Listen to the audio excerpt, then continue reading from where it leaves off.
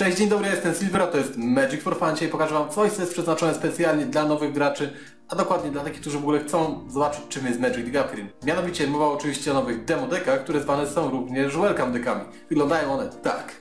Mam tutaj dwie sztuki Liliany oraz Nisce, tak więc zobaczymy, co znajduje się w środku. Program powstaje przy wsparciu sklepu planeswalker.pl.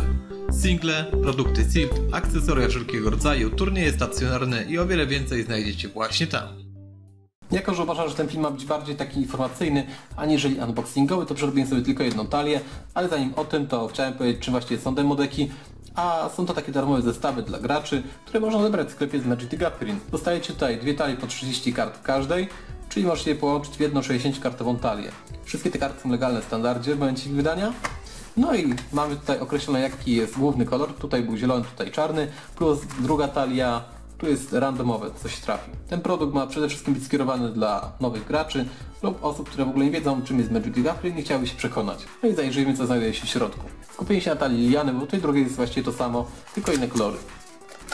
Chodzi mi o to, żebyście zobaczyli co pod względem treści się znajduje. Tu wiadomo, że jakiś mega kart tutaj nie będzie, skoro to jest za darmo. Pudełeczko się może przydać, więc odkładamy je na bok. I teraz tak, z gratisów dostajecie przewodnik taki szybki po zasadach Magica, chociaż uważam, że lepiej stosować ten taki bardziej obszerny. Dostajecie również list, taki skierowany do graczy, którym dowiecie się kim jesteście w tej grze i jakie kroki kolejne trzeba były podjąć. No i dwie talie.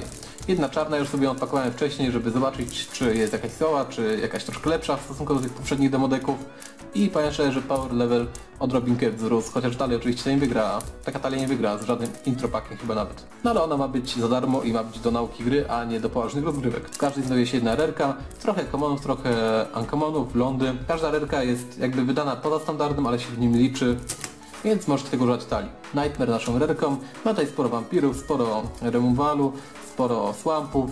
Ogólnie ten deck ma skupiać się jakby na takich charakterystycznych cechach każdego koloru, w tym przypadku na czarnym kolorze, więc jeżeli pamiętacie takie broszurki, w których pisano, czy dany kolor się specjalizuje, czyli na przykład czarny e, miał przynosić siłę za jakiś koszt, czyli na przykład poświęcamy naszego sporka, żeby zniszczyć jakąś kartę na polu, albo musimy nazbierać dużo swampów, albo po prostu zalewamy przeciwnika hordą zombiaków.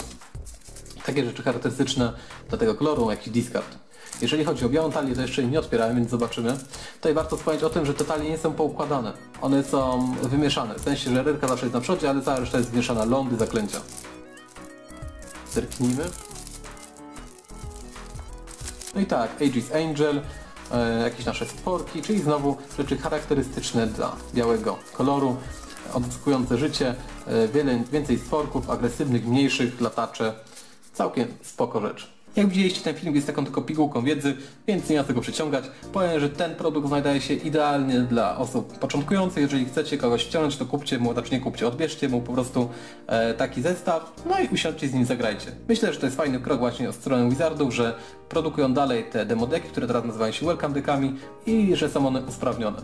Jeżeli film Wam się podobał, to nie zapomnijcie zasubskrybować kanał oraz polajkać go na Facebooku, by być na bieżąco ze wszystkim co wrzucam, a nie tylko z filmami. No i zobaczymy się już niebawem, tak więc do usłyszenia, cześć!